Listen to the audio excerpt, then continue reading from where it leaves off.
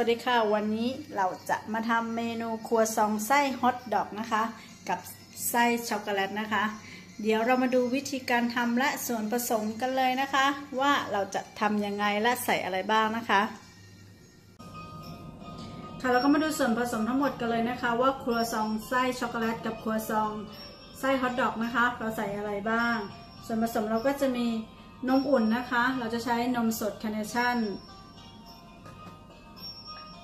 เกลือ ยีสต์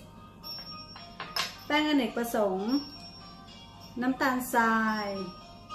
เนย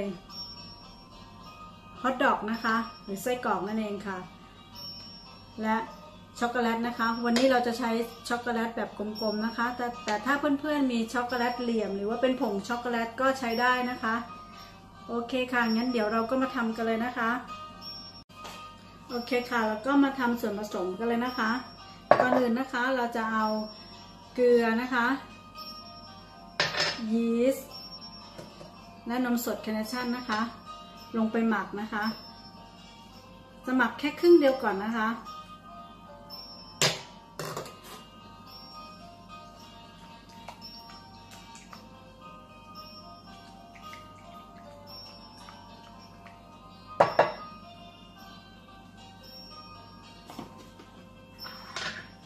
แล้วเราก็แรปไว้นะคะ จะแรปไว้ประมาณ 10 นาทีนะคะ อุณหภูมินี้ก็ต้องร้อนหน่อยนะคะ เพื่อจะให้ยีสต์นะคะเป็นฟองขึ้นตัวนะคะ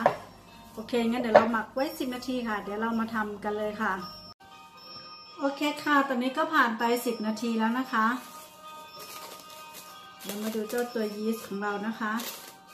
ถ้าตัวยีสต์ยังไม่ขึ้นฟองนะคะ จะทิ้งไว้ 10 นาทีหรือ 15 นาทีก็ได้นะคะ อันนี้ค่ะก็จะขึ้นมาหน่อยนึงนะคะ เดี๋ยวเราก็จะมาทำขั้นตอนต่อไปเลยนะคะ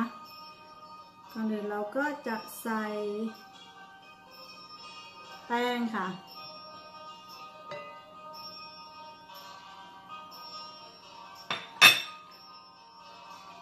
ทำหนุ่มตรงกลางค่ะ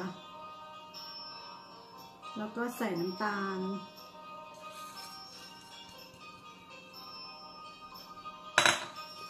แล้วก็คลุกเคล้าให้เข้ากันค่ะ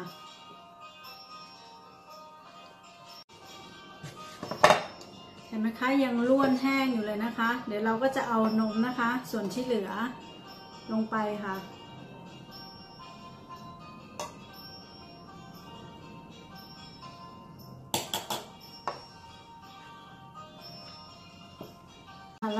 ค่ะ แล้วเราก็นวดนะคะ ให้ตัวแป้งนะคะ จับตัวกันค่ะ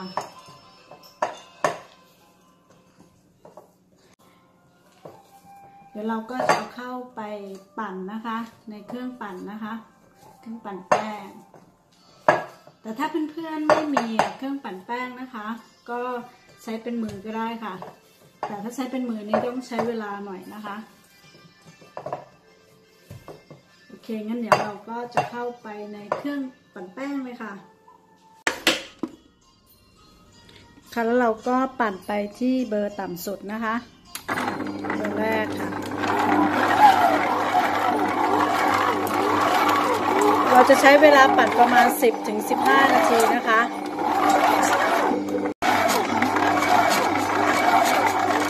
ค่ะพอปั่นได้ประมาณ 5 นาทีนะคะ เราก็จะปักค่ะ ปักเป็นเบอร์กางนะคะ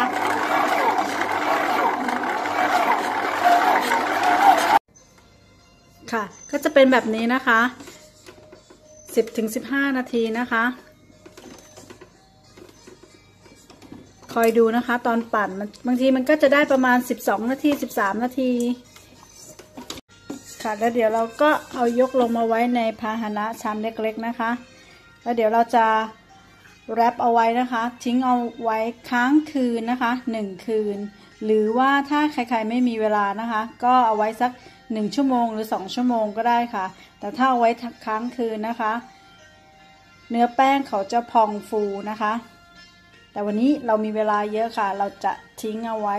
ค้างคืนนะคะ ให้มากกว่า 3 ชั่วโมงขึ้นไปค่ะ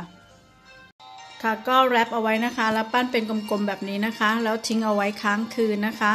เดี๋ยวพรุ่งนี้เรามาเจอกันอีกทีนะคะ แต่ถ้าเพื่อนๆรีบนะคะ ก็เอ่อไว้สักสองชั่วโมงก็ได้ค่ะ แต่ถ้าเอาไว้นานนะคะ ค้างคืนนะคะ เนื้อแป้งเขาจะนุ่มฟูนะคะ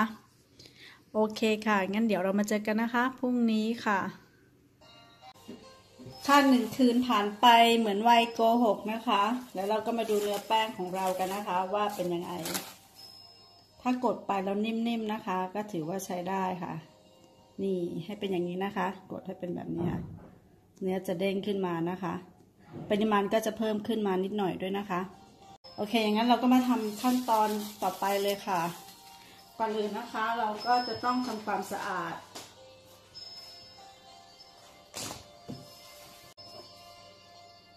จะโรยแป้งนะคะ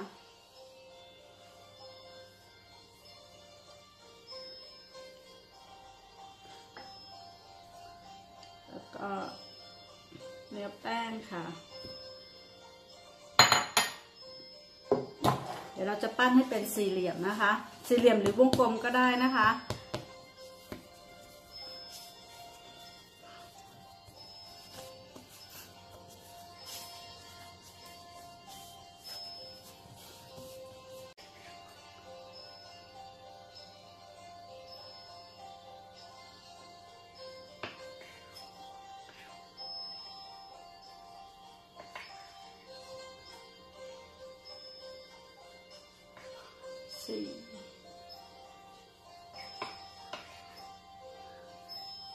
ก็จะได้เจ็ดชิ้นนะคะ เดี๋ยวเราจะมาชั่งตวงค่ะ ให้น้ำหนักของแต่ละชิ้นเท่ากันนะคะ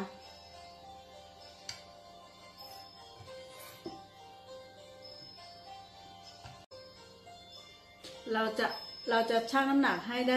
ชิ้นละประมาณ 80 กรัมนะคะ อันนี้ 72 กรัมค่ะ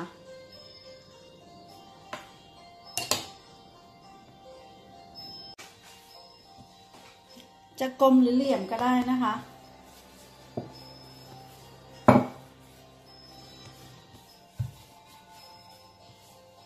ถ้าชั่งน้ำหนักนะคะ มันจะไซส์ปริมาณมันจะเท่า ๆกันทั้งหมดค่ะ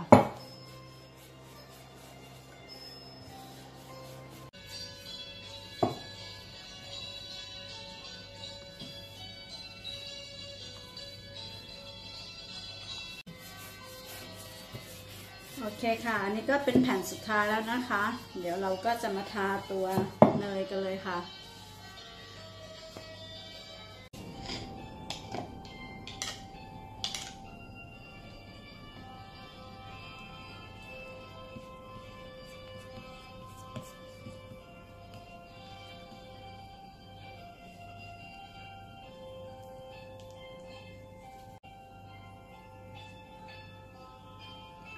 ก็จะมาทาแผ่นที่สองกันเลยค่ะ ทับไปทับมานะคะ จนเสร็จนะคะ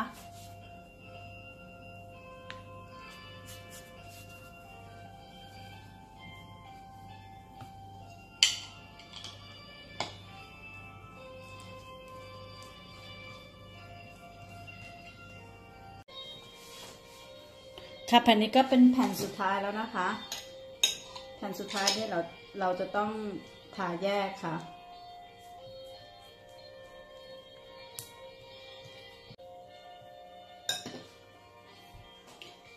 ครับพอแผ่นสุดท้ายนะคะ เราจะเอาหน้ากว้ำนะคะ เราก็จัดให้ตึงให้ไซส์เท่า ๆกันนะคะ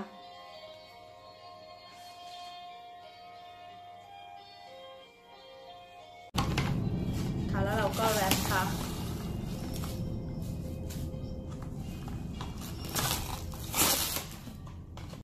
โอเคค่ะ แล้วก็มารีดกันนะคะ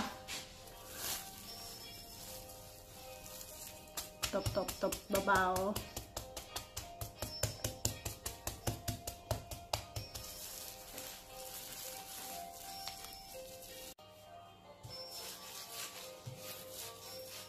ค่ะเรานวดให้เป็นทรงกลมนะคะ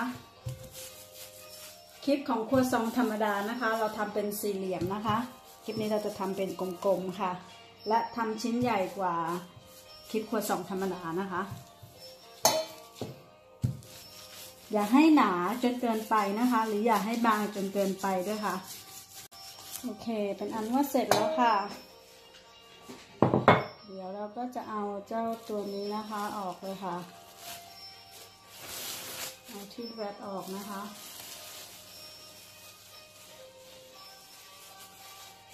เราก็จะมาตัดเป็นกลมๆกันเลย มือต้องแม่นนะคะ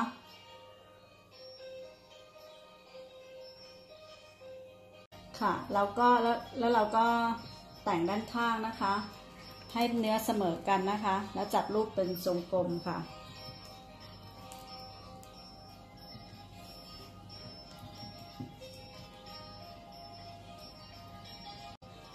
ค่ะ แล้วเราก็จะเอาแป้งนะคะ โรยด้านข้างนะคะ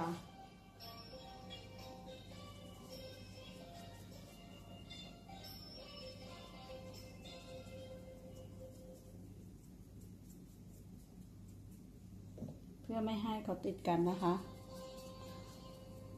แล้วเราก็แรปทิ้งเอาไว้นะคะ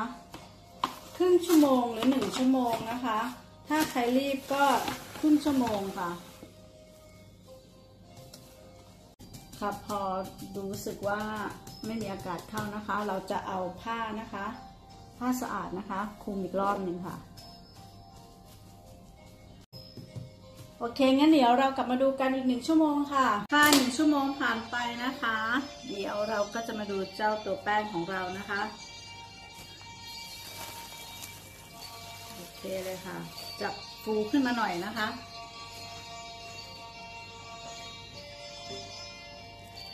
นี่ค่ะ ไม่ติดด้วยนะคะ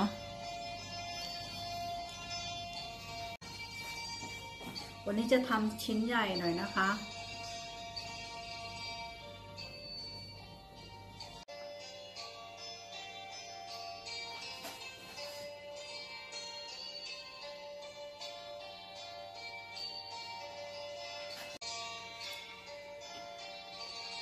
ตอนแรกถ้าผ่าสี่นะคะ มันก็จะได้ผ่าตรงกลางได้นะคะ แต่นี้เราจะเอาชิ้นใหญ่หน่อยค่ะ เราก็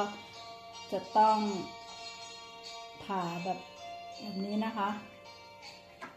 สรุปเราได้กี่ชิ้นนะหกชิ้นนะคะหนึ่งสองสามสี่ห้าหกชิ้น โอเคค่ะ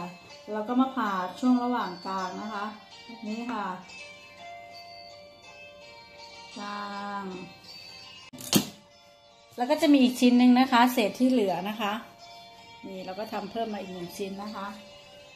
โอเคนะคะ เดี๋ยวเราก็มาแซะกันเลยค่ะนี่หนึ่งชิ้นนะคะ แล้วเราก็จะยืดนะคะนี่ค่ะม้วนให้เป็นแบบนี้นะคะ จะม้วนเหมือนครัวซองธรรมดานะคะ หัวท้ายเราก็จะเอาไว้อย่างละหน่อยนะคะ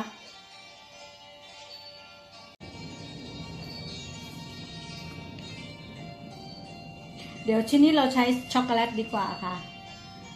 เราจะใช้ช็อกโกแลตเป็นรูปแบบนี้นะคะ แต่ถ้าเพื่อนๆไม่มีนะคะ ใช้เป็นช็อกโกแลตผงก็ได้นะคะ หรือผงโกโก้ก็ได้ค่ะ นี่เดี๋ยวเราจะใส่สองลูกนะคะ พอเวลาเราเข้าไปอบนะคะ เดี๋ยวมันจะละลายไปค่ะม้วนค่ะ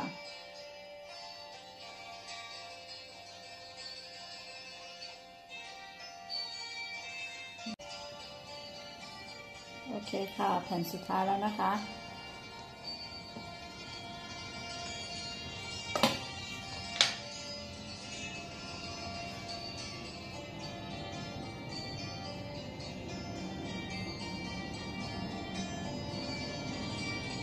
โอเคค่ะ ขั้นตอนสุดท้ายแล้วนะคะ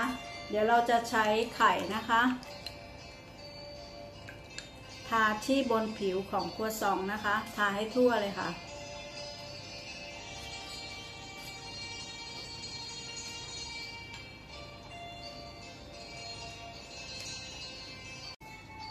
ค่ะเดี๋ยวเราก็จะเอาครัวซองของเรานะคะ เข้าไปอยู่ในเตาอบค่ะ ก่อนที่จะไปอยู่ในเตาอบนะคะ เราต้องอุ่นไฟนะคะ อุ่นเตานะคะให้ให้มีความร้อนค่ะ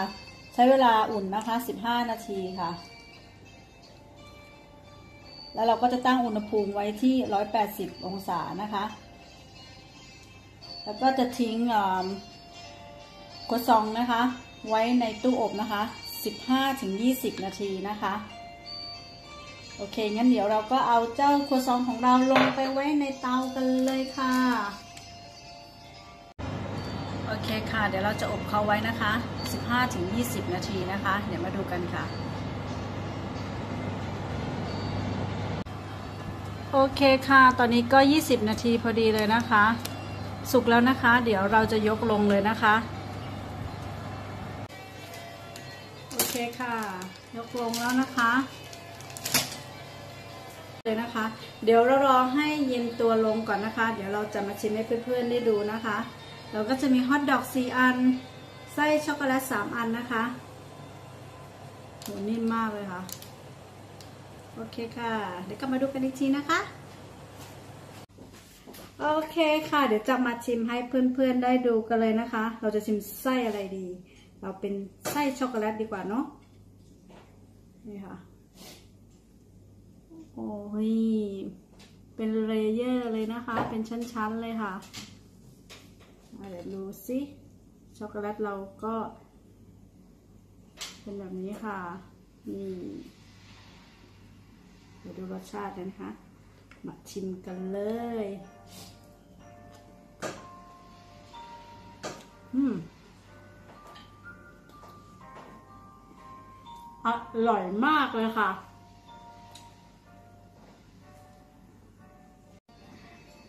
เสร็จแล้วนะคะ ครัวซองไส้ฮอทดอกกับไส้ช็อกโกแลตนะคะ ถ้าเพื่อนๆชอบคลิปนี้นะคะรบกวนช่วยกดไลค์ กดแชร์ กดติดตามให้ด้วยนะคะ เพื่อเป็นกำลังใจในการทำคลิปต่อไปค่ะสำหรับวันนี้ครัวแม่ลูกไทยเซนิคอสจบไปก่อนค่ะ มาเจอกันใหม่คลิปหน้าค่ะ แปลกๆ ใหม่ ๆ นะคะ สวัสดีค่ะ